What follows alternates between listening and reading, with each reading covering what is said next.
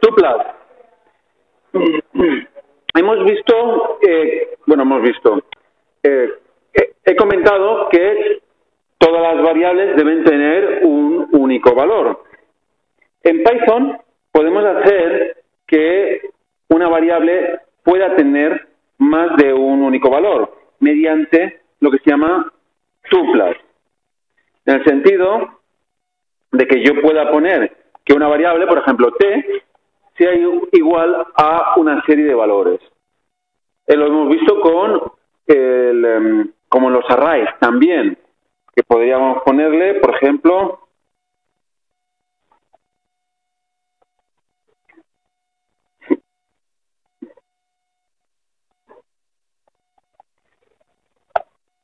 Esto es una, una tupla, ¿vale? No empieza con corchetes. Eso lo podríamos hacer exactamente igual con un array, pero ahora veremos unas pequeñas diferencias. La primera diferencia es que estas tuplas no son modificables, igual que las cadenas de caracteres. Entonces, nosotros no podemos hacer un append de 6, porque nos dice que una tupla, el objeto tupla, no puede añadir ningún elemento, ni siquiera tiene el elemento añadir. Por lo tanto, no podemos añadir un elemento. Entonces, eh, ¿para qué se suele utilizar las tuplas? Pues, por ejemplo, pues para poner una fecha. Una fecha siempre viene con día, mes y año. Y ese es el valor que tiene sentido por sí mismo. No tiene sentido tener una fecha con solo el día, con solo el mes o con solo el año. ¿Entendéis? Entonces, yo puedo hacer una fecha es igual a 22 de, no, de octubre 2018 y ya tengo una fecha asignada a fecha. ¿Que quiero recuperar el día? Pues ¿qué tendría que hacer? Pues como es el primer elemento de esta tupla, pues tendría que hacer fecha entre corchetes 0. Y con esto tendríamos el día. Fecha entre corchetes 1 tendríamos el mes y fecha entre corchetes 2 tendríamos el año. Esto funciona exactamente igual, exactamente igual que los arrays, salvo que para iniciar una fecha, hay una tupla, tiene que empezar por paréntesis o incluso sin paréntesis. Yo puedo decirle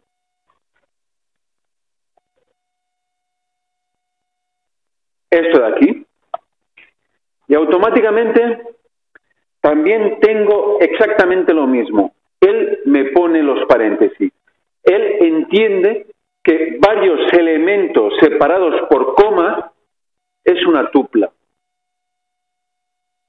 Le pongamos los paréntesis o no. Muy bien.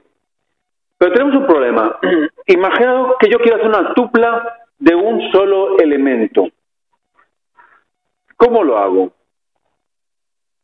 Si yo pongo que mi tupla es igual a 3, pues no va a funcionar, ¿verdad?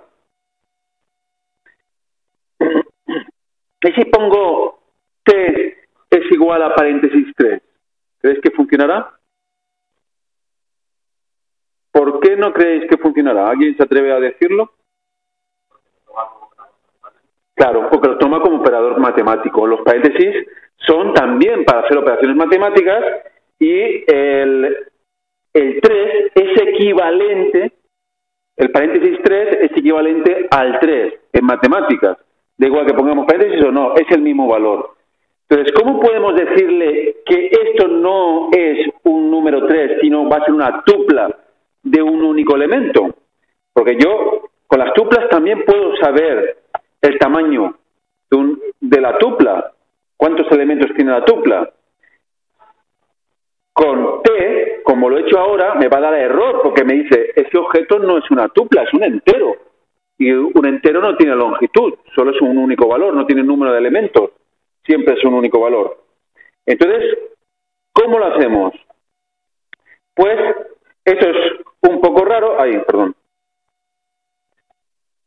Pero os lo tenéis que aprender que poniendo tres, entre paréntesis, tres coma, pues en vez de tomarlo como un elemento entero, lo tomaría como una tupla de un único elemento. ¿Lo veis?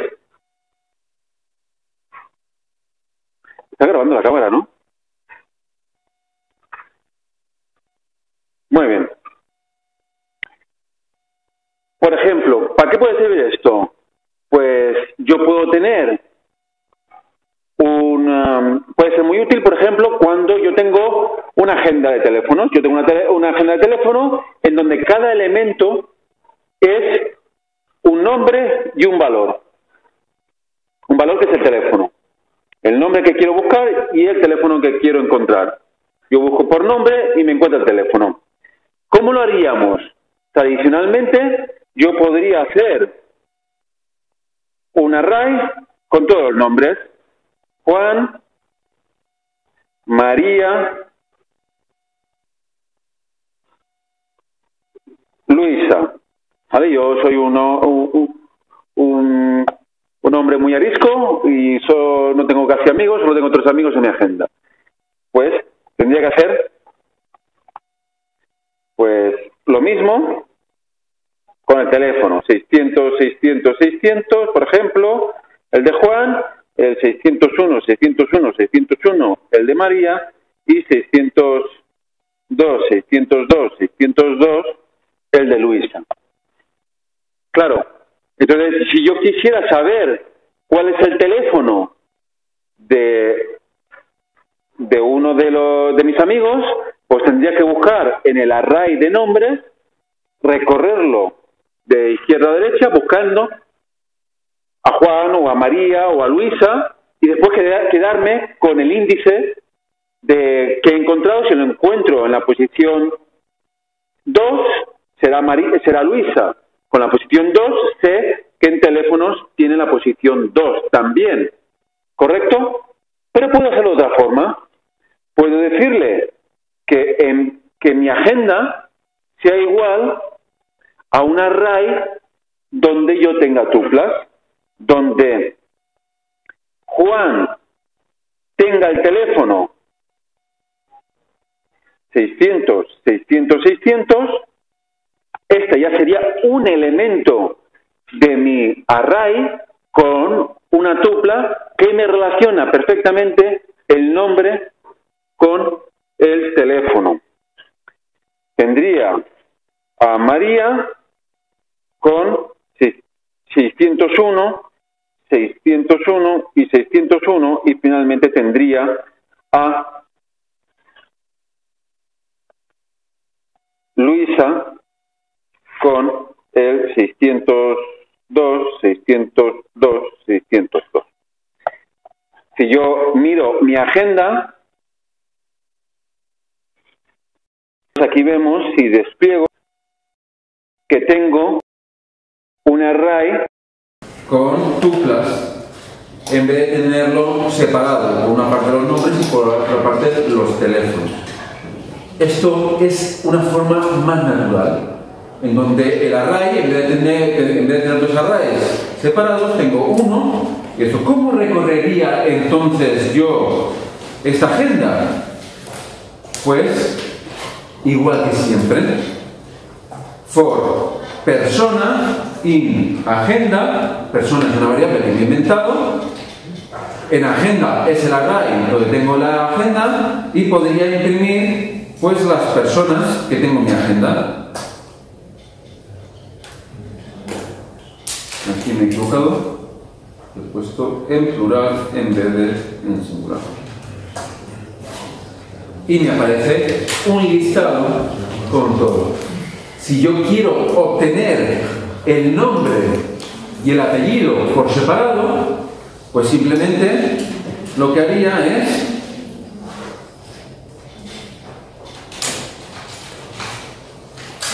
pues bueno, voy a formatearlo que me salga bien. Lo voy a poner así porque me gusta, lo puede hacer de cualquier otra forma. Ahí.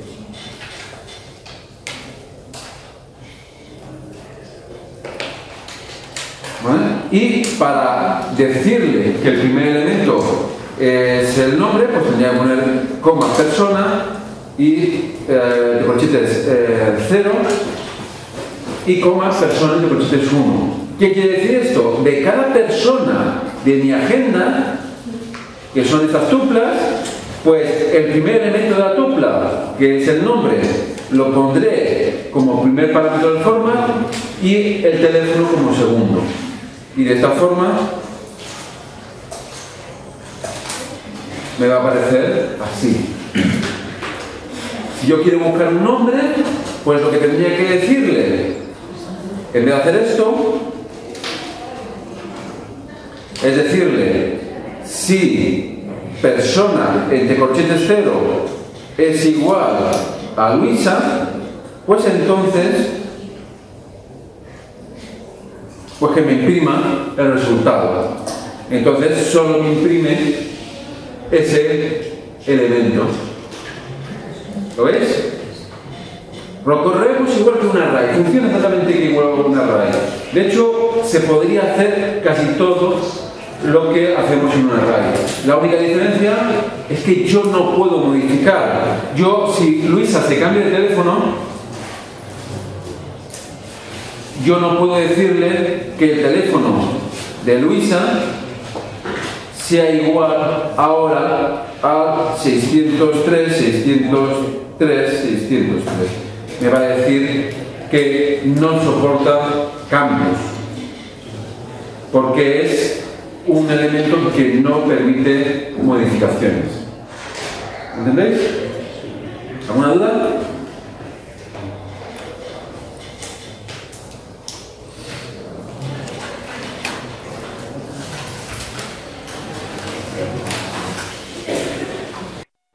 Ok.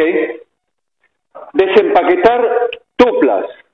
Pues podría haber hecho esto, lo que hemos visto que he hecho, pero también puedo hacer, para hacerlo más fácil, decir, vale, el nombre y el teléfono será igual a persona.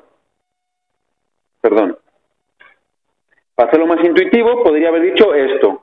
Con esto, y ya podría cambiar nombre, nombre y persona.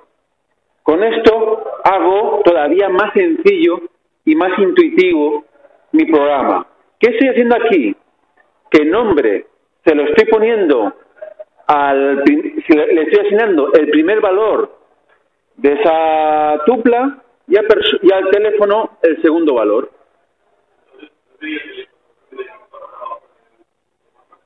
Exacto. Exacto. Me he metido la pata. ¿Entendéis? Estoy asignando, en vez de tener que hacer nombre es igual a persona entre corchetes 0 y teléfono es igual a, persona entre corchetes 1, eh, esto me permite hacerlo de esta forma. Y funcionaría exactamente igual. Pero es más elegante. ¿Qué pasaría si yo por ejemplo, tenemos fecha. Yo puedo hacer lo mismo. Día, mes y año se lo puedo asignar a fecha. De tal forma que en ese momento tengo tres variables, que será día, que tiene 22, que mes, que es octubre, y año, que es 2018. Porque fecha es una tupla que cuyo primer elemento es la, el día, el segundo es el mes y el tercero es el año. ¿Lo habéis visto? ¿Qué he hecho? Simplemente he hecho esto de aquí. Fecha es esto. Es una tupla que tiene estos tres valores. Pues día, mes y año, pues hago esto. ¿Lo veis? ¿Qué pasa si yo digo siglo? Como le estoy exigiendo más valores de los que tiene, pues me va a dar un error me va a decir que no hay suficientes valores en la tupla para desempaquetarlos y meterlos en variables distintas. los valores en la tupla están como empaquetados en un único en un único objeto, pues cuando yo intento desempaquetarlos me va a dar un error. Y lo mismo me va a pasar si yo intento desempaquetar en menos valores. Si intento desempaquetar en menos valores, me dirá que hay demasiados valores en la tupla para desempaquetarlos en solo día y mes. Y que él esperaba en la tupla pues dos valores. Y, hay, y, realmente hay tres. ¿Entendéis? ¿Veis el error? Me estás mirando una cara. Esto te suena chino, ¿no? Es una forma, esto no es más que una nueva forma de ordenar la información. Realmente tiene poco uso. Voy a ver si puedo hacer ejercicios que pueda haber, eh, que pueda entenderse esto de tuplas. Pero hay muchas funciones, que es lo que viene a continuación, que lo que devuelve son tuplas. Siempre que hemos hecho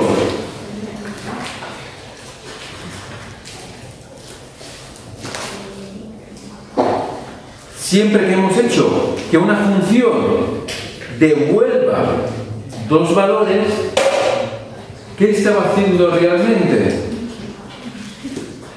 Devolviendo una tupla con dos valores.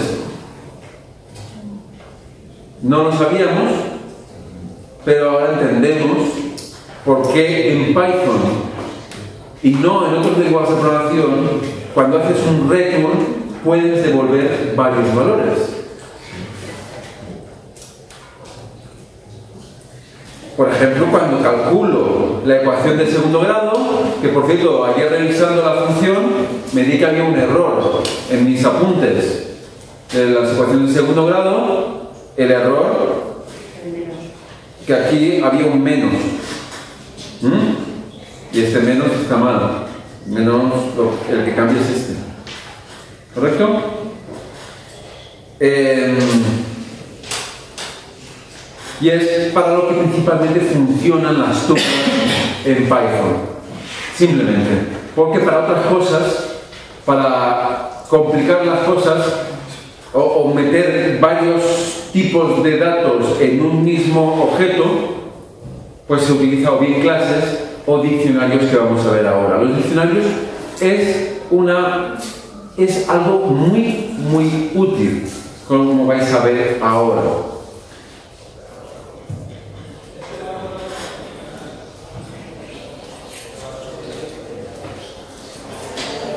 Muy bien.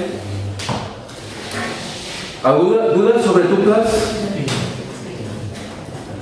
Ya insisto, voy a intentar poner esta semana, voy a poner un montón de ejercicios sobre matrices y sobre listas que vais a tener que hacer en prácticas, eh, creo que esta semana tenéis prácticas, ¿no? El miércoles y jueves.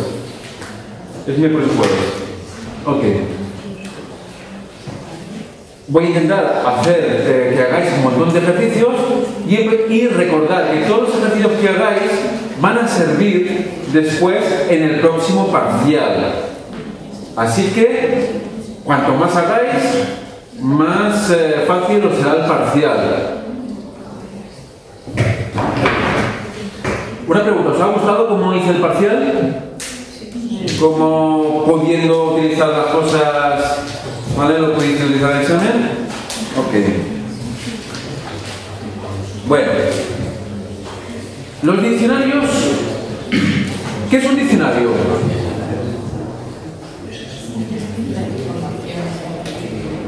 ¿Perdón?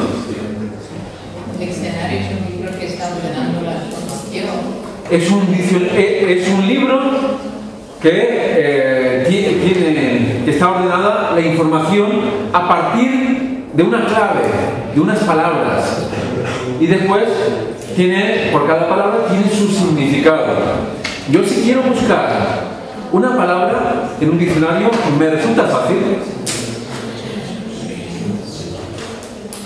Puedo, si yo soy un diccionario y os digo, buscar, buscar la palabra, no sé, mmm, informática en un diccionario con, y un diccionario de más de 10.000 palabras con un montón de hojas, ¿os resultaría fácil? ¿Por qué creéis que es fácil? Porque tiene un índice, porque tiene un orden, porque tiene. Porque nosotros podemos saber intuir, intuir claramente dónde está nuestra palabra. Y con unas pocas búsquedas lo podemos encontrar. Vosotros sois matemáticos, ¿sabíais decirme, sabíais decirme cuántas páginas mínimas tendría que abrir para encontrar cualquier palabra?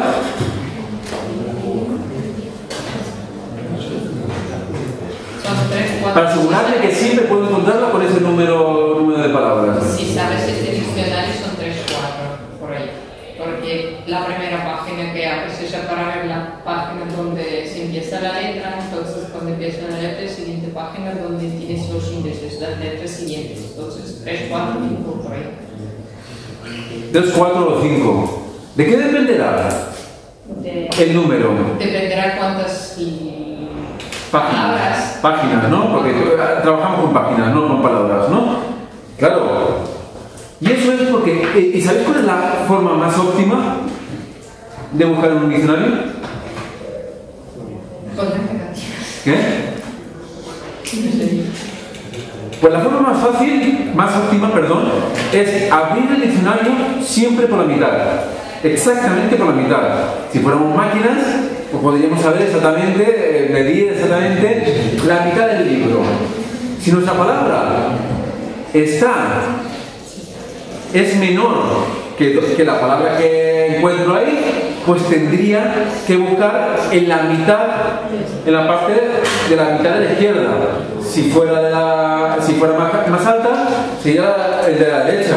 Y si mm, no, y fuera igual, pues ya habría encontrado la solución. Imaginad que fuera menor. Pues me voy a la parte de la mitad que aún no he, no he dividido. Lo partiría por la mitad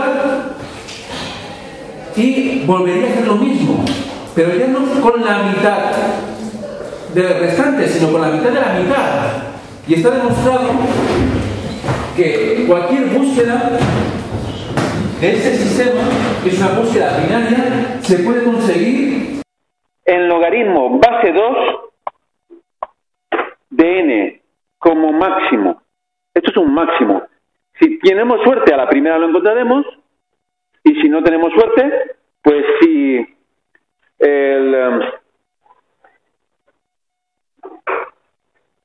el, el libro tiene 256 páginas, como máximo en 8 saltos. Si tiene 512, en 9. Si tiene 1024, en 10. ¿Veis cómo se va duplicando? Y en pocos saltos podemos buscar en un millón, en mil millones, serían 20 saltos, apenas. 20, 20 páginas que consultaríamos, podríamos buscar una palabra en un diccionario de mil millones. Pues los diccionarios en programación nos permiten hacer ese tipo de búsquedas hiper rápidas. Y no solo nos permiten hacer eso, sino que nos permiten decir el buscar por una clave y encontrar un valor. ¿Entendéis? Espero que no se me haya bloqueado el ordenador otra vez. A ver. Perfecto. Va bien. Entonces, ¿cómo creo yo un diccionario? Pues un diccionario es tan sencillo crearlo, por ejemplo, así. Así creo yo un diccionario vacío. Con eso acabo de crear un diccionario vacío. ¿Cómo le añado elementos a un diccionario? Pues un diccionario, como ya he dicho, tiene una clave y un valor. Como clave le puedo meter lo que yo quiera. Y como valor, también lo que yo quiera. Él va a buscar solo por la clave, o sea, va a ser óptimo buscar por la clave. De tal forma que yo puedo decirle que Juan tiene este número de teléfono.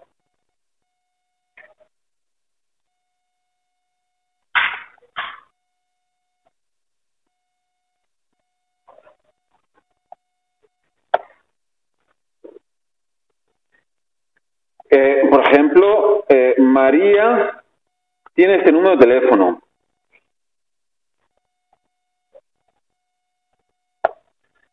Y Luisa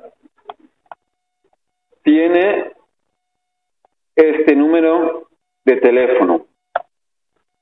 ¿Cómo busco a alguien en concreto? ¿Cómo busco a Luisa o cómo busco a María? Pues tan sencillo como poner el diccionario, corchetes y lo que quiero buscar. Si es una cadena, lo tendré que poner entre comillas. Si es un número, lo pondré ahí también un número. Y automáticamente me devuelve el valor que tiene ese diccionario para esa clave. Funciona muy parecido a, los, a las listas, salvo que las listas están numeradas y solo podemos meter en una lista, en una lista. Yo puedo meter valores y si yo busco la clave, la clave del 6 será el 1, porque está en el índice 1. Pues en un diccionario no se habla de índices, se hablan de claves. Y si yo busco ¿Correcto? Muy bien. ¿Cómo recorro un diccionario? Imagínate que yo quiero imprimir mi agenda. Bueno, eh, pues sería... Voy a cambiar el nombre, voy a decirle que el diccionario agenda es igual a D, por tanto, son equivalentes, yo pongo agenda y pongo dice D y me va a salir lo mismo, porque es el mismo objeto. Que pasa que tengo dos, dos variables que apuntan al mismo objeto. Pues, ¿cómo lo hago? Pues como siempre, persona in... Ay, perdón. Eh, nombre in agenda. Y cuando yo imprime, imprima nombre, ¿qué me va a salir? Cuando hago esto? ¿Quién dice que va a salir el nombre de la persona?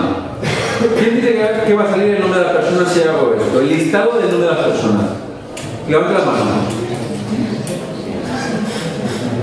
¿Quién dice que va a salir las dos cosas, el nombre y el teléfono? Una tupla con las dos cosas.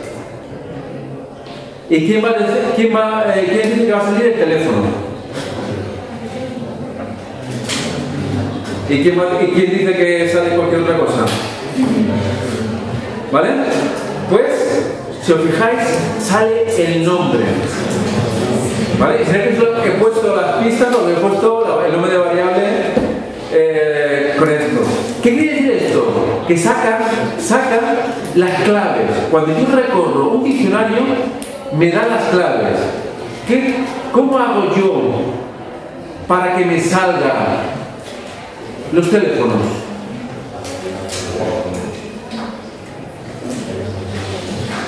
Pues bueno, voy, voy, a hacer lo mismo de antes. Voy a hacer que me salga el nombre.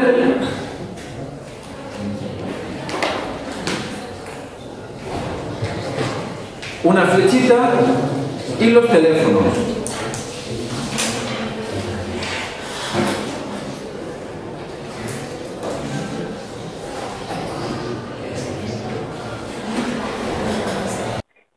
¿Vale? El nombre lo tenemos claro, así yo haría que saliera el nombre, pero ¿cómo hago que me salga el teléfono? ¿Agenda qué? ¿Corchetes? Exactamente. He dicho que si yo cojo el nombre del diccionario, le pongo corchetes le pongo la clave, me va a devolver el valor que está asociado.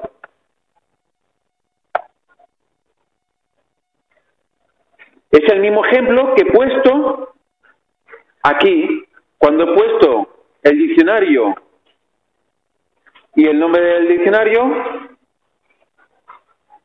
pues haremos una pausa ahora, ¿vale? Cuando termine eh, los de los diccionarios. ¿Vale? Pues. Vale. Lo único que me queda decir es que esto permite búsquedas hiperrápidas.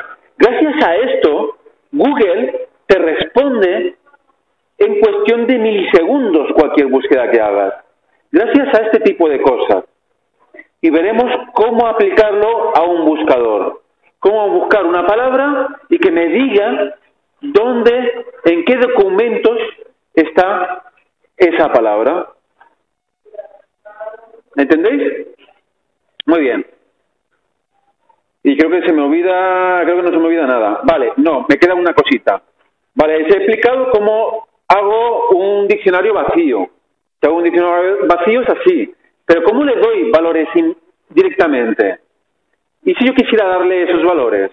Pues bueno, pues puedo decirle en la clave, dos puntos, ahí, eh, Julián, dos puntos y, la, y el valor. Voy a cambiarle, en vez de darle una cadena, le voy a dar una edad, por ejemplo, 35 años.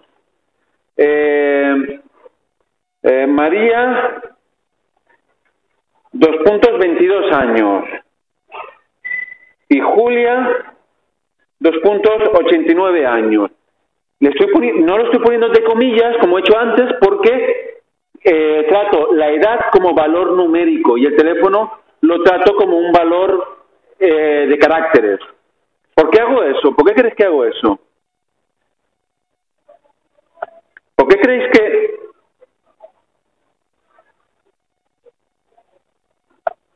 ¿Por qué creéis que a, en edad le pongo, no lo pongo con uh, comillas y al teléfono he estado todo el rato poniendo las comillas por lo que jode poner comillas en un teclado?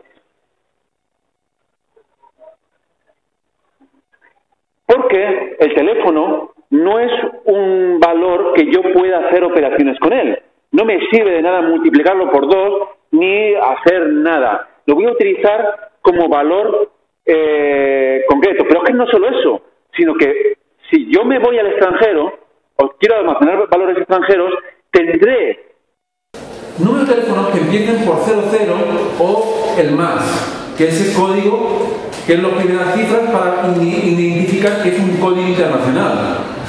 Por eso me he empeñado en poner comillas en el teléfono y no porque si fuera un teléfono, pues yo podría poner que mi agenda, agenda, entre corchetes, José,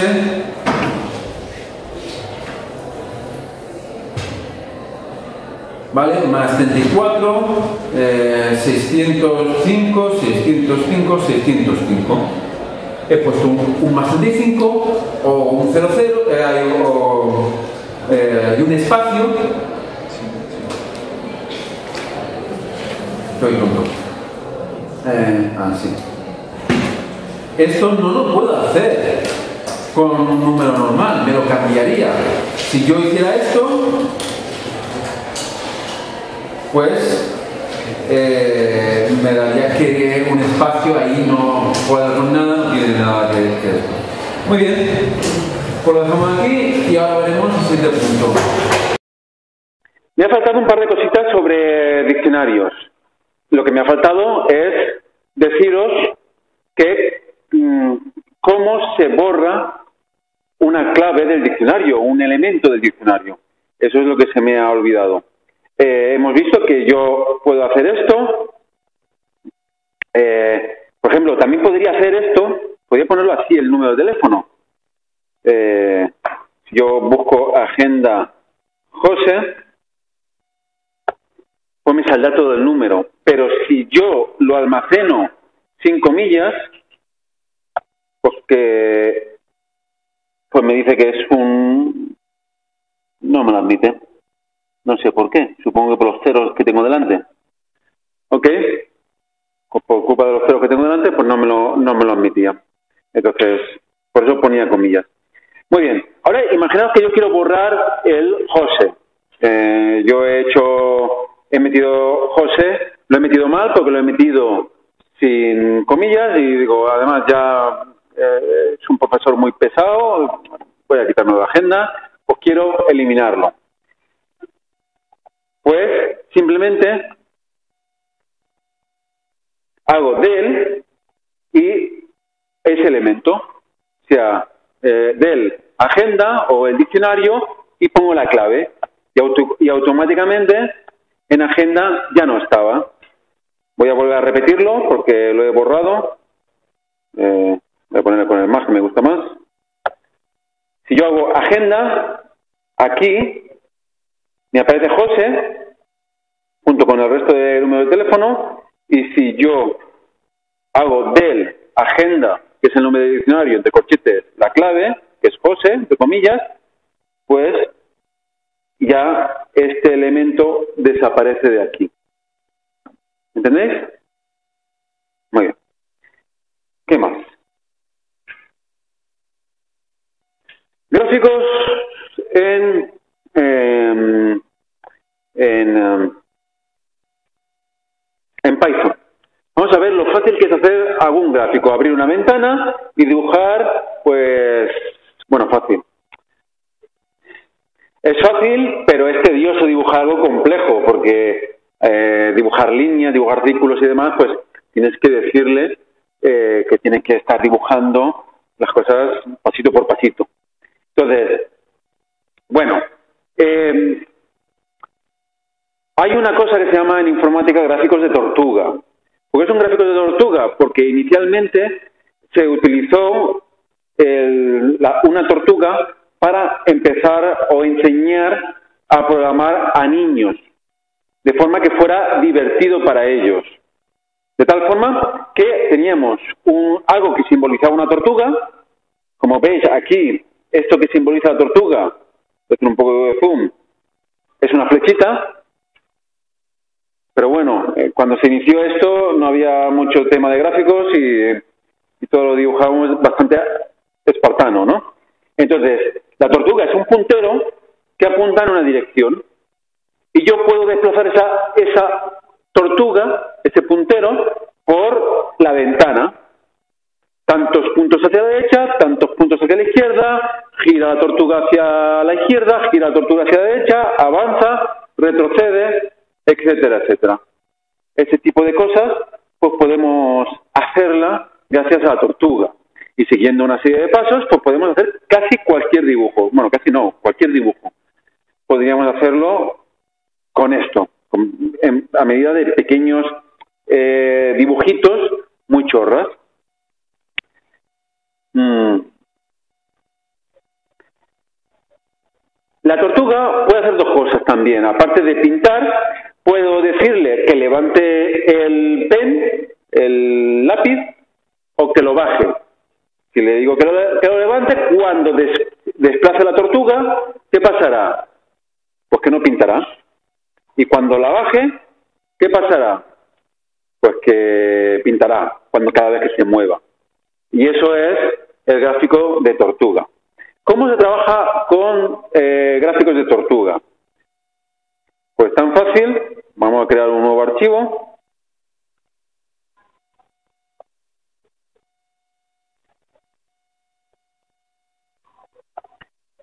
Y lo primero que hay que hacer, como dicen las instrucciones, es el import. Import total. Con esto ya hemos importado el paquete de la tortuga. Y con eso ya podemos empezar a hacer cosas. Por ejemplo, crear una ventana. ¿Cómo creo una ventana? Pues con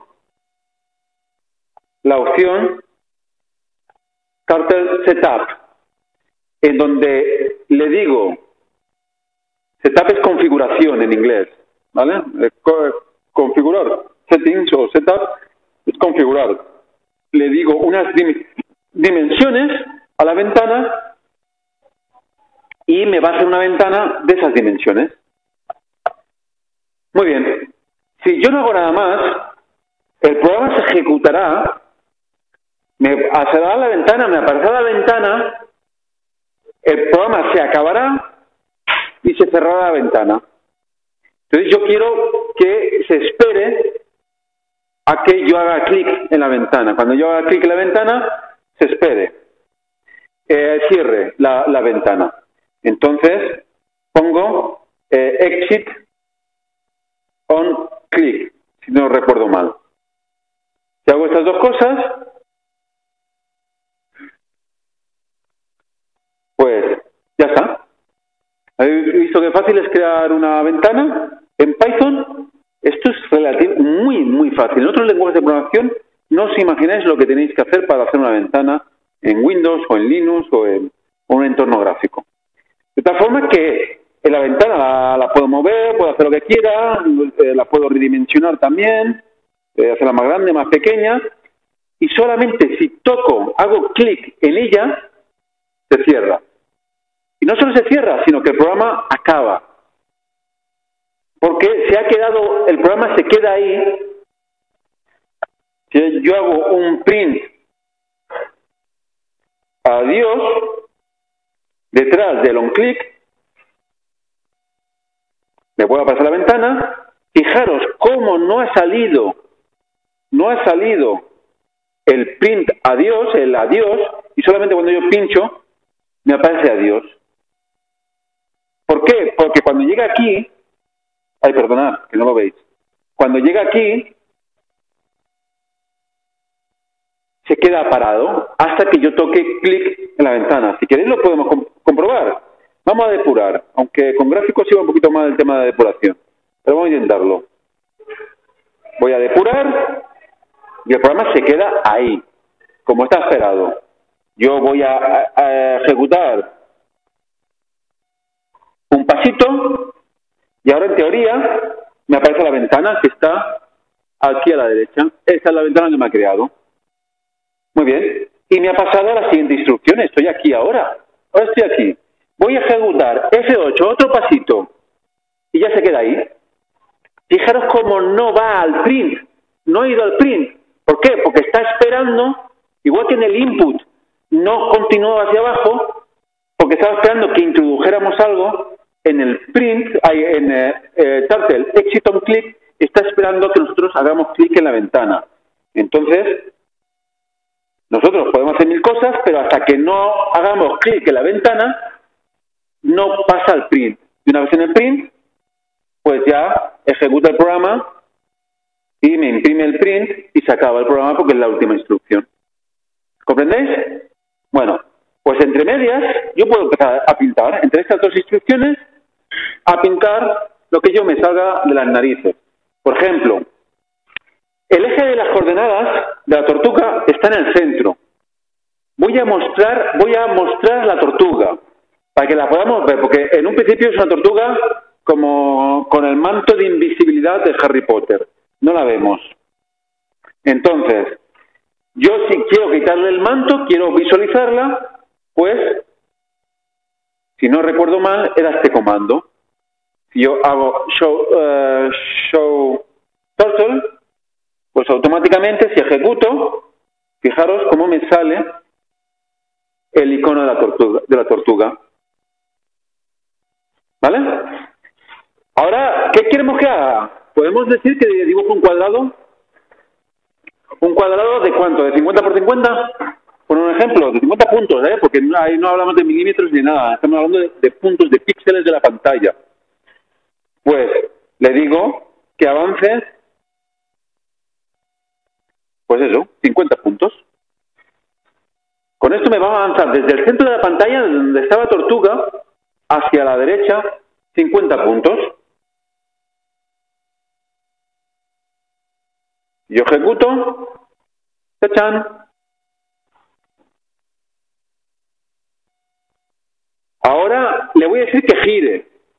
el, cuadrado lo hacia, hacia abajo o hacia arriba. Hacia arriba, pues entonces ¿Qué tengo que hacer? ¿Que gire hacia la derecha o hacia la izquierda?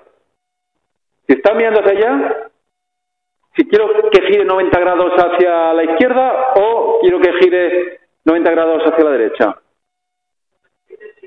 Hacia la izquierda, ¿no? Pues left 90 grados. Si vamos probando, veremos. No sé si me ha salido la pantalla o qué ha pasado. Está ejecutando, se ha quedado groggy. ¿Qué es esto?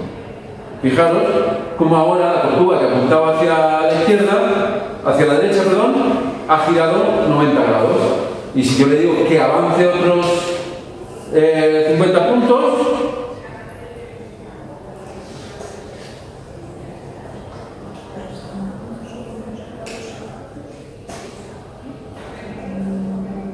Si lo vuelvo a hacer cuatro veces más,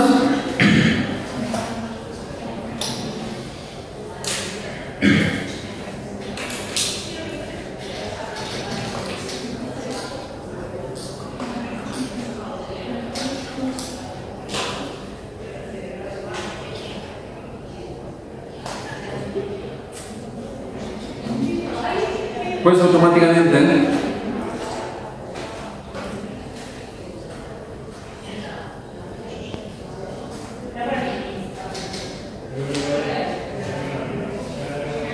fijaros cómo va dibujándose. Puedo hacer que vaya más lento también, la tortuga, si queremos. Puedo decirle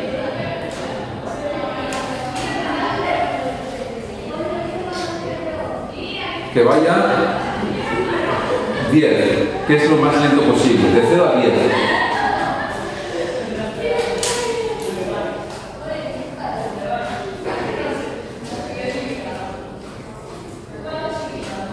Sleep no.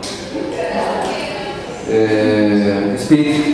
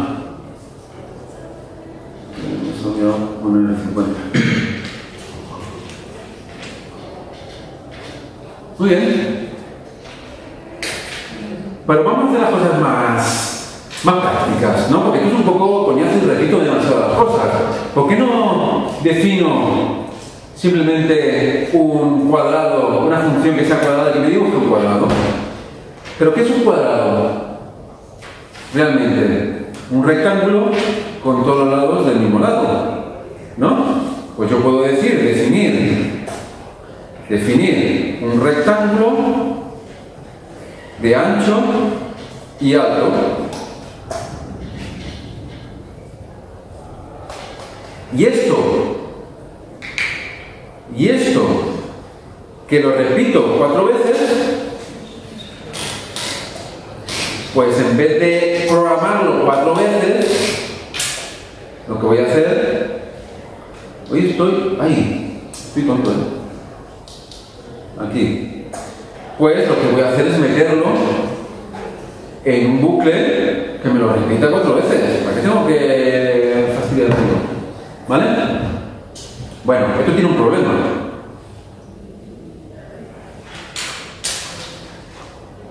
¿Vale? Y, y esto, ¿vale? Si yo hago Perdona, eh, decime que no tengo los impuestos. ¿Ves? Si yo hago eh, rectángulo esto, pues claro, pero me falta un pequeño detalle. ¿Qué detalle es? Que yo siempre pongo el mismo tamaño. Y si pongo aquí un width, hay un ancho, pues todo me lo hará del mismo tamaño que el ancho, pero no me lo hará ancho por alto. Entonces, ¿qué es lo que me falla? Pues si el módulo de i es igual a 0, pues que me avance ancho y si no, que me avance el alto. Sea, ¿qué estoy haciendo? Primero, su- presupo- eh, presupongo que eh, me va a avanzar hacia la derecha. Como la iteración, es la primera iteración, valdrá 0, 0 es par. Sí, como es par, el módulo en base 2 será igual a 0. Entonces, me va a recorrer el ancho. En la siguiente iteración va a ser hacia arriba. Porque yo he hecho girar la tortuga. Como he hecho girar la tortuga 90 grados, cuando yo le diga que avance, lo que me va a hacer es hacia arriba. Como la iteración es impar, como ahora estoy en la 1, pues me va a, a ampliar, a subir en alto. En la siguiente iteración valdrá 2, que es par. Como es par, ancho. Y ya lo tengo. ¿Correcto? Esto lo puedo simplificar.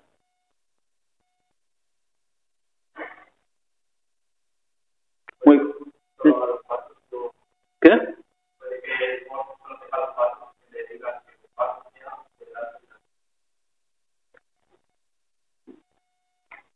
O sea que tú, bueno, podría ser que dibujara los dos al mismo tiempo, ¿te refieres? Sí. Que dibujen los dos, sí.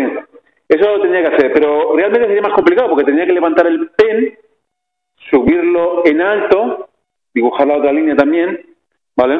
Me refiero que en la misma iteración haga un ancho y un alto. hacer dos iteraciones. Por ejemplo, sí, también eh, tienes razón, tienes razón. Podría hacer eso. O también podría utilizar el if en línea, que lo vimos. Es decir, como es, como es muy sencillo y a lo mejor os, rayo, ahí, lo que me tocaba. Voy a repetir la función. Rectángulo 2, que va a hacer lo mismo, un rectángulo. Pero lo que voy a hacer es que eh, turtle.forward eh, de ancho, si esto es igual a par, else algo.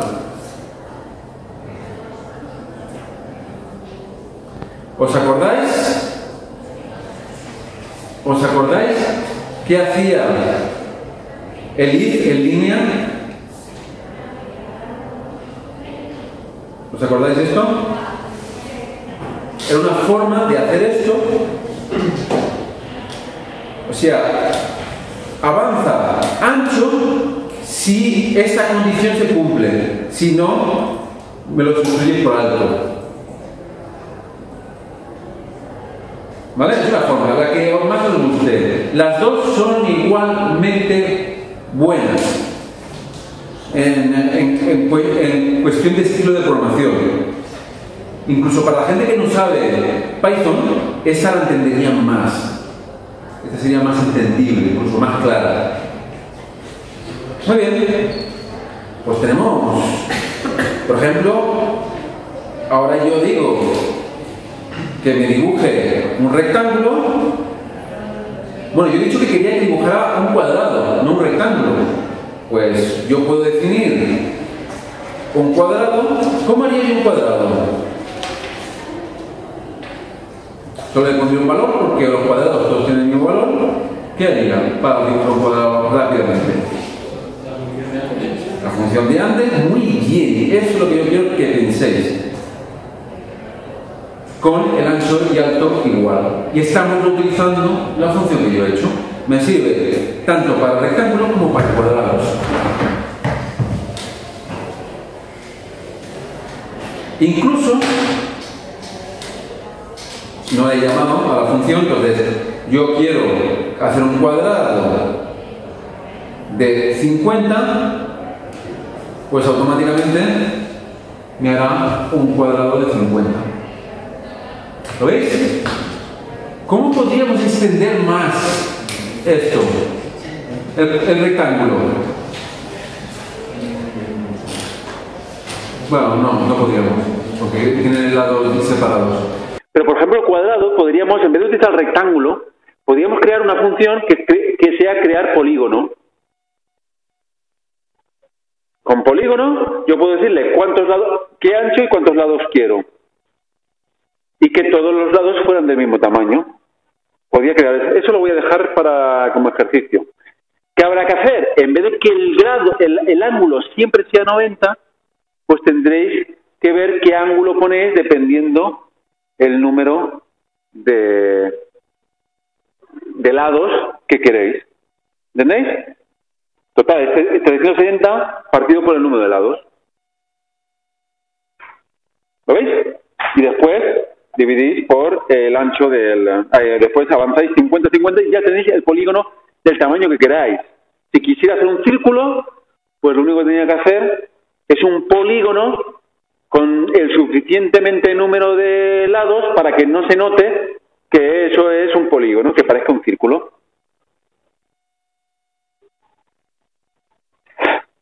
Y eso es lo que hace. De hecho, no me hace falta hacer un, uh, un círculo, eh, programar un, cí- un círculo, porque ya me viene aquí, puedo decirle que me haga un círculo de diámetro de 50, por, por ejemplo. Circle.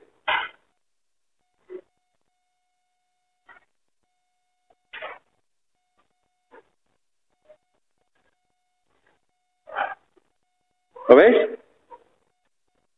Muy bien.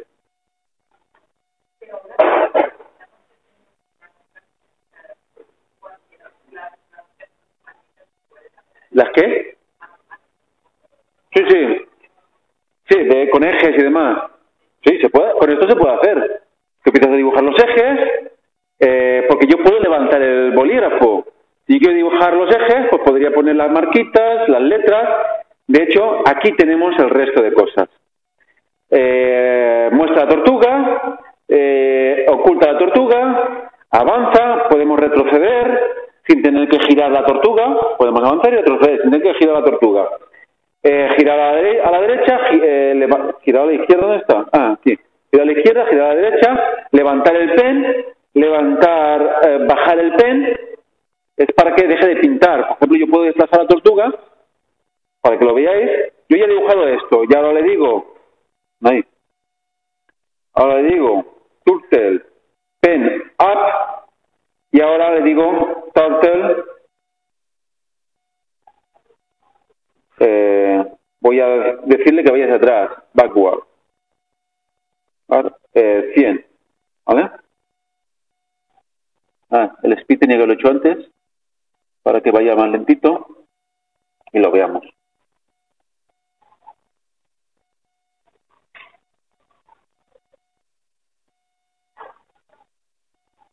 Y puedo ocultar la tortuga también, no hace falta que se vea. Puedo hacer que no se vea la tortuga y puedo hacer.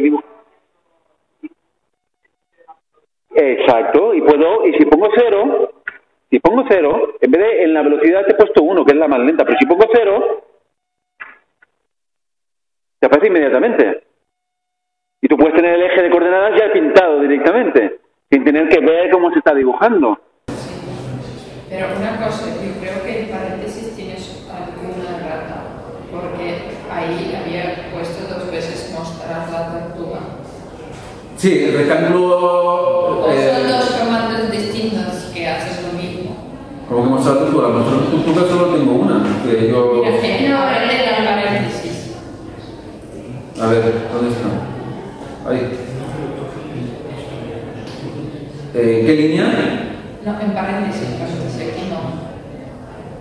En las de Ah, la transparencia. Vale, vale. Eh, show turtle y hide turtle. Sí, los dos va a estar puesto como mostrar la tortuga. Ah, oculta, gracias. El copy paste, se. Oculta la tortuga. ¿Vale? Podemos dibujar, podemos dibujar puntos de un grosor, podemos hacer rellenos, pintar que la figura tenga esté rellena. Eso lo dejo a vosotros, os pasaré un enlace con, eh, con la página web donde explica todo esto con más detalle y podemos hacer cualquier gráfico. Podemos hacer el grosor de la línea más gordo con el pen size o pintar el color también con pen color y hacer todo lo que queráis. ¿Vale? Pero, claro, aunque se puede hacer con esto, lo que tú me has preguntado, aunque se puede hacer con esto, es un poco coñazo. Realmente dibujar una gráfica y con esto y. Para eso Python tiene gráficas que te permite crear gráficas de forma mucho más fácil y sencilla. Pero necesitamos importar la librería, el módulo, voy a llamarlo módulo aquí se llama módulo más librerías, módulo matplotlib. ¿Correcto? Con esto pero no solo hay que importarlo, hay que instalarlo.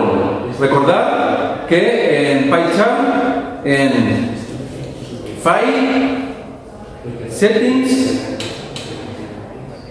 tendría que poner aquí, buscar el matplotlib. Pinchar aquí y darle a instalar paquete. Yo ya me lo he instalado porque no viene por defecto. Nos lo instalamos, va a internet, lo busca, se lo instala y ya podemos utilizarlo. Y entonces ya lo tendríamos. ¿Correcto? Muy bien, pues podemos hacer gráficas, pues como esto que tengo aquí. No me voy a entrar mucho, creo una lista con valores. Eh, bueno, Voy a, voy a hacerlo, porque si no os vais a perder. ¿Vale?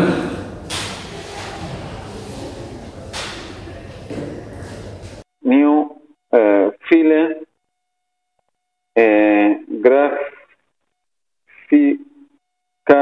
matplot. ¿Vale? Entonces, lo primero que es, después de el módulo, será instalarlo, eh, importarlo.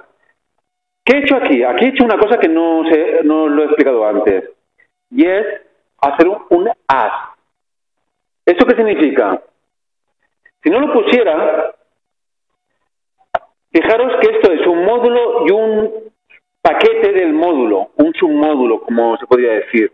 Yo no, como es un módulo muy complicado, que hay muchas funciones, pues él lo divide en subpaquetes. Como lo divide en subpaquetes, yo puedo eh, yo puedo hacer más eh, matblock eh, este es el nombre del módulo y después el que quiero utilizar concretamente es el pyplot entonces si yo quisiera utilizar algo de aquí por ejemplo creo la lista de elementos con esto creo la lista de elementos y con esto lo muestro y después solo me quedaría mostrar la gráfica. Aquí solo me quedaría mostrar la gráfica. Pero ¿qué pasa? Que tendría que hacer, poner aquí todo esto.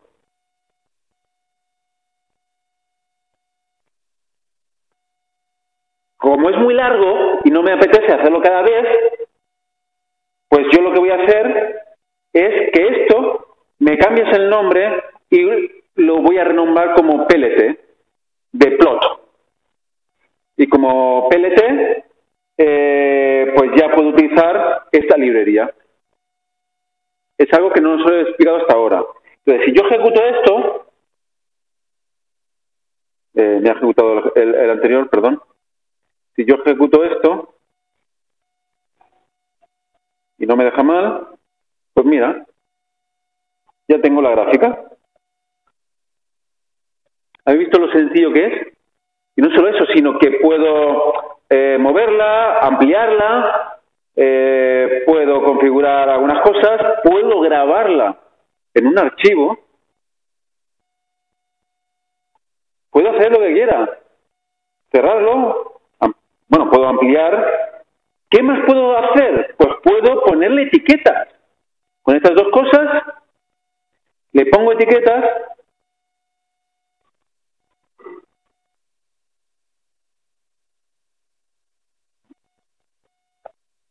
a los ejes de coordenadas. Lo ha hecho todo en la misma línea, no sé por qué.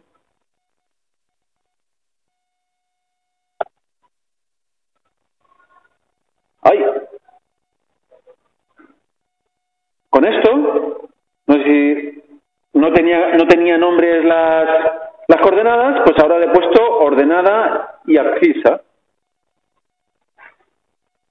Le puedo poner otra, otra Otra gráfica, pues sería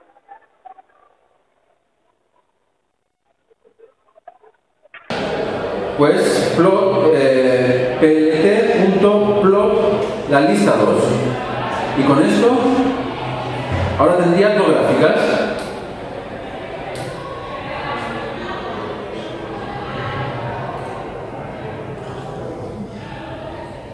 si quieres ejecutarse Ahora,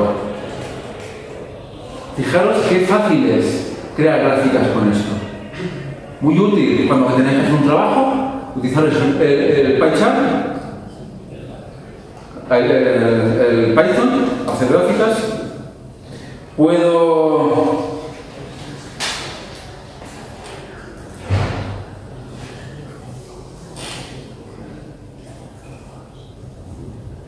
puedo dibujar, eh, ponerle un título a la gráfica, por ejemplo, que tenga título gráfica, puedo ponerle eh, que tenga una rejilla, puedo ponerle una leyenda,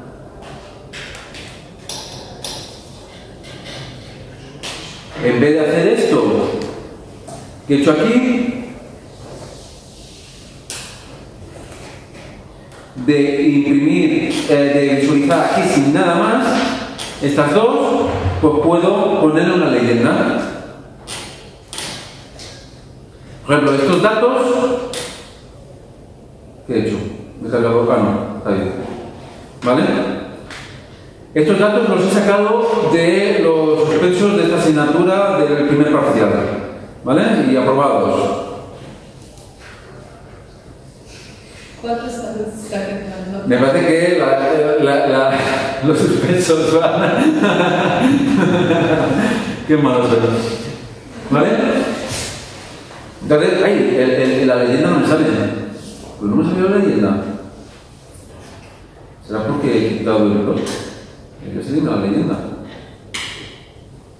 A ver, déjame que re, una cosita. A ver si así sale.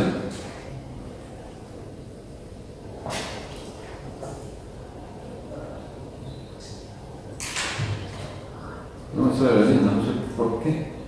Eh... Ah, aquí, claro.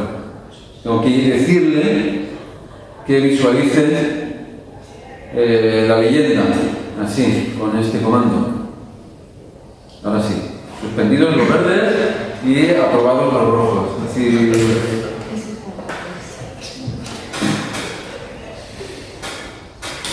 ¿Vale? Me ha faltado, me ha faltado decirle que imprima la leyenda, que es con este comandito de aquí. Fijaros lo fácil que es hacer gráficas en Python.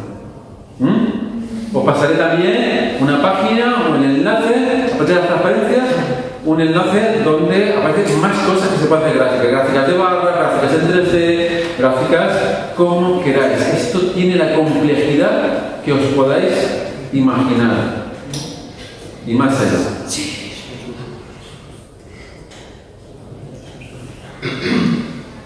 Por ejemplo, yo puedo decirle, yo puedo decirle que eh, los ejes de las X, el eje de, de abscisas, pues en vez de tener esto tenga letras, pues lo puedo hacer con el método que Son las marquitas que voy dejando en el ahí. Le digo que va a ser 8 marquitas de 0 a 8, pero que cada una de ellas va a ser A, B, C, D, E, F, G y H, en vez de 0, 1, 2, 3 y 4. Entonces, A, B, C, D, E, F, G, H. Eh, también puedo decirle que el eje de la SIS pues sea pues este de aquí, que es un rango eh, de 0 a 50, recordad que los rangos iban de- desde ese elemento hasta el segundo menos 1, bien de 0 a 50 y que irían de 10 en 10.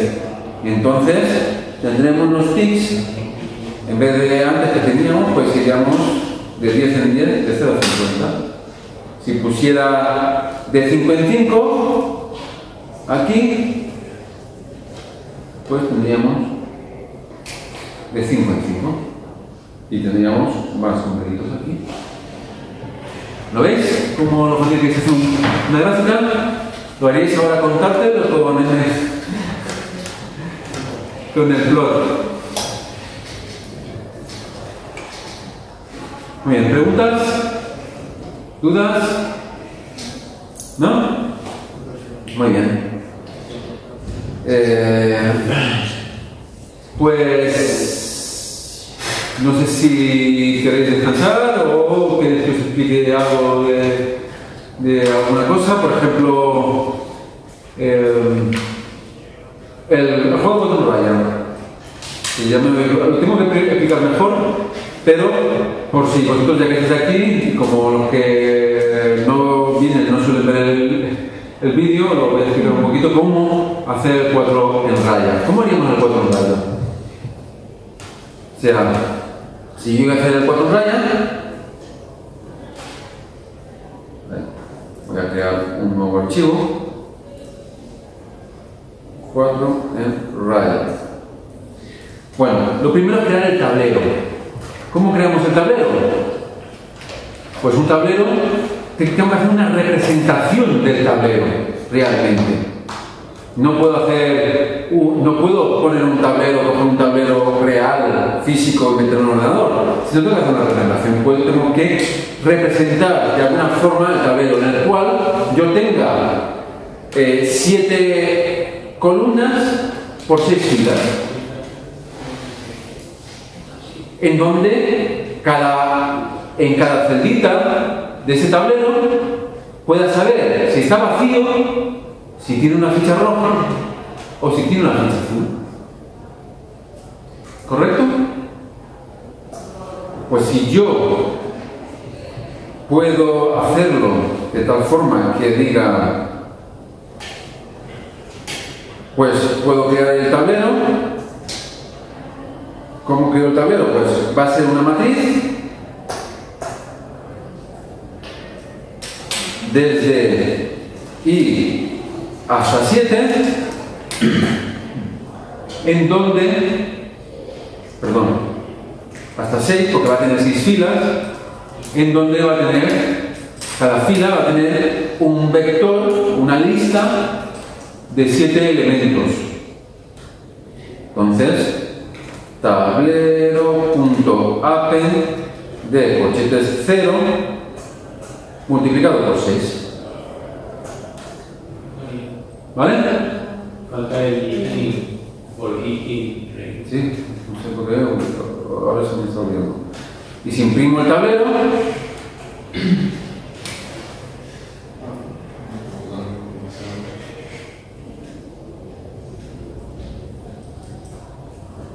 Ah, ya está pintando ¿Podrías hacerle directamente con lo que hiciste de un país? Sí, con un país también puede hacerlo. De hecho, con un país es más fácil, porque puedes decirle que haga un- haga una matriz de n por n eh, con todos ceros.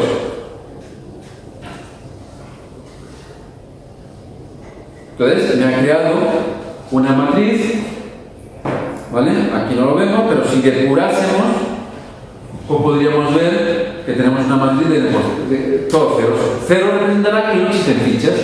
Si yo quiero poner una ficha, le tengo que decir en qué columna tengo que poner la ficha. Vamos a hacer esa función.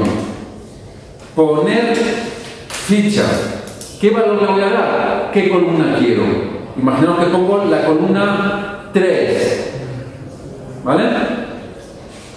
Eh, la 4 mejor, para que sea la ficha central. Poner ficha en el tablero. Quiero poner una ficha, pero voy a decirle cuál va a ser, la roja o la azul. Pues le voy a decir que sea la roja. ¿Pero qué narices es roja? No lo sabe. ¿Cómo puedo decirle lo que es la roja? Pues le puedo decir que roja sea igual a 1 y azul sea igual a 2. De tal forma que yo le diga eh, poner ficha en un tablero que sea, eh, la columna que sea y la ficha que sea.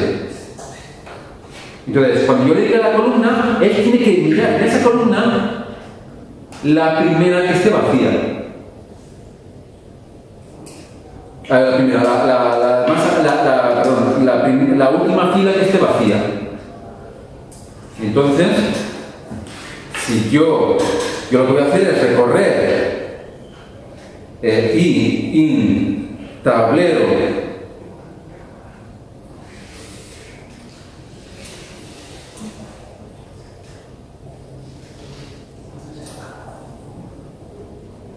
como todas las filas van a ser del... eh, no, estoy bien. ¿Vale? Esto me dará, me recorrerá todas las filas del tablero.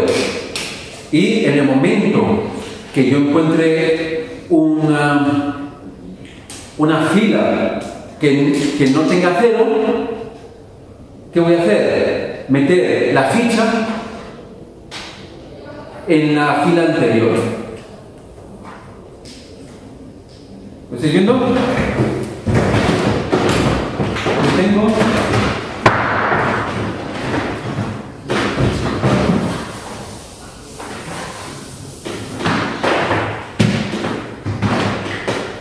Yo tengo el tablero que será 1, 2, 3, 4, 5, 6 y 7. Y después 1, 2, 3, 4, 5 y 6. Y lo tengo todo a ceros. Si yo le digo que quiero que esté la columna 1, 2, 3, 4, 5, 6 y 7, tened en cuenta que yo empiezo desde el cero. Eso me va a llevar a ciertos problemas. Esto me va a llevar a ciertos problemas, pero es más intuitivo a la hora de programar, pero es más intuitivo al usuario. El usuario que no sabe programación no sabe qué es lo que tenemos que contar desde cero. Entonces tenemos que hacérselo fácil al usuario. Entonces yo le diré, colócame la ficha en la 4, ¿vale? Como es, entonces voy a recorrer este. ¿Tiene un 0? Sí. ¿Tiene un 0? Sí. ¿Tiene un 0? Sí. ¿Tiene un 0? Sí. ¿Tiene un 0? Sí. ¿Tiene un 0? Sí. ¿Ya no hay más? Pues voy a poner mi- la ficha aquí. La, va a ser la ficha 1, la ficha roja. Sí. Después le hecho la ficha en la misma posición ¿Tiene un cero? Sí. ¿Tiene un cero? Sí. ¿Tiene un cero? Sí. ¿Tiene un cero? Sí. ¿Tiene un cero? Sí. ¿Tiene un cero? No. No. Pues le pongo la ficha ahí. Eso es lo que estoy desarrollando. ¿Vale?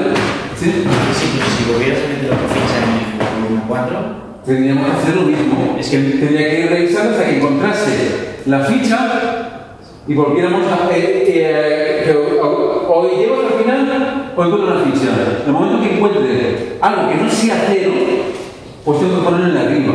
Y así, así. Si llego aquí y no hay hueco, ¿qué, qué- voy a hacer? imprimir un error o lanzar un error que sería lo más correcto para esa función. El, error lo imprimiríamos después al capturar ese error. Entonces con el for, el 2, por ejemplo, te lo cambiaría porque te el siguiente y encontraría el 1. No, el 2 porque yo en vez de decirle aquí, Igual mejor. ¿no? si en vez de, de- de decirle aquí, ay, que me meta una ficha roja, le digo que me meta una ficha azul, me va a meter un 2. Si yo a continuación le digo que me meta, ahí, que me meta otra ficha azul, me va a meter otro 2, no un 1. ¿Vale? Es nuestro deber controlar que eh, eh, se, se meten las fichas corre- correctamente. ¿Entendéis? ¿Qué hora es? Tengo 10 minutos. Vale, entonces, ¿cómo lo haríamos?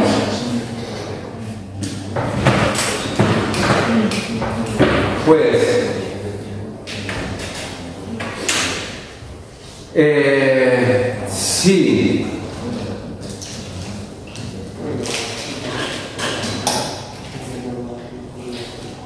Si tablero entre corchetes la columna que estoy metiendo y la fila es distinto a cero,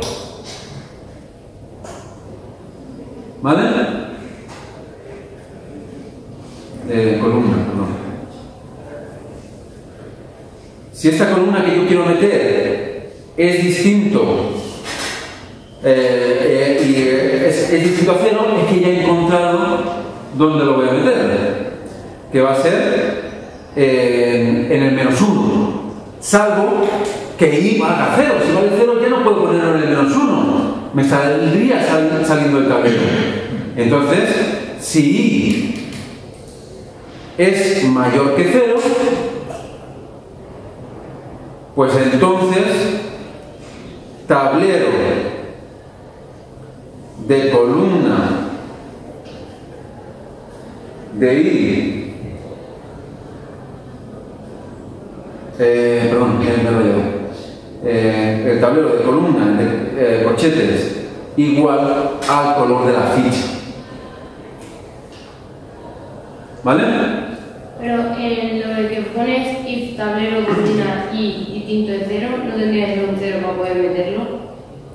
no porque yo lo que estoy haciendo Es que si no es cero, Vamos a ver, si el contenido. Yo voy metiendo 1, 2, 1, ¿vale? Y yo, yo, este es i igual a 0, la fila 0, i igual a 1, i igual a 2. Cuando yo tengo una situación, si yo miro el tablero, ¿qué vale?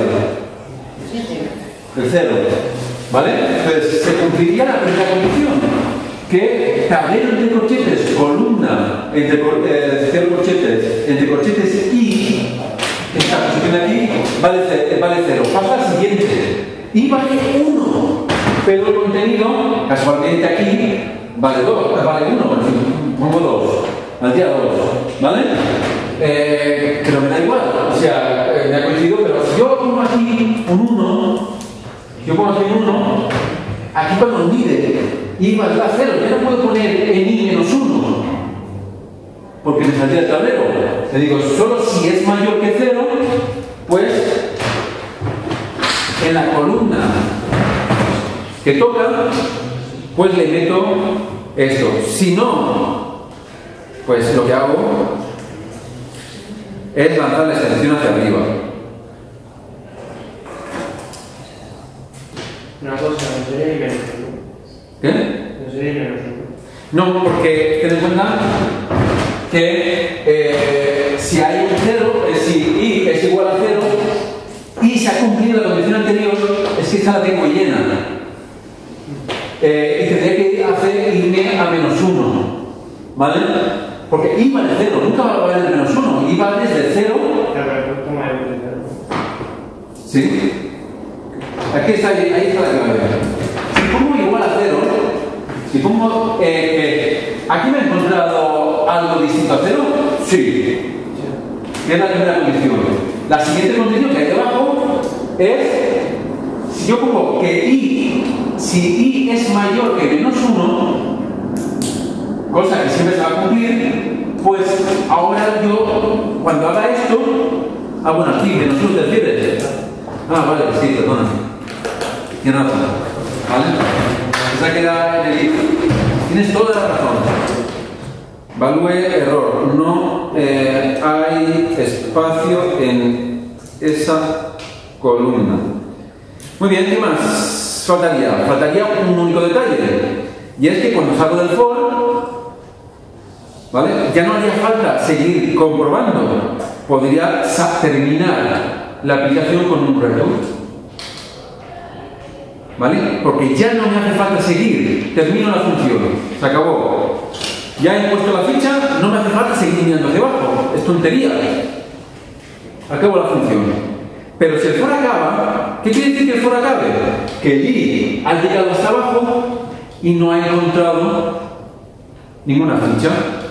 Quiere decir que todavía es todo, vacío. Entonces, en tablero, entre columna y aquí sería la columna 5, porque va de 0 a 5, igual a ficha. ¿Vale? Para que esto fuera más, más intuitivo para el usuario, aquí le restaremos 1. El resto 1 para que cuando, sea la cuando el usuario diga que la columna 4, pues eh, realmente me esté haciendo en la matriz en la columna 3. Porque estamos empezando a contar desde 1, pero internamente en programación siempre empezamos a contar desde 0. Entonces, si el usuario dice 4, realmente en informática la columna será la 0, eh, será una menos. ¿Correcto? Y ya tenemos una parte de nuestro programa de esto. A ver si me acuerdo,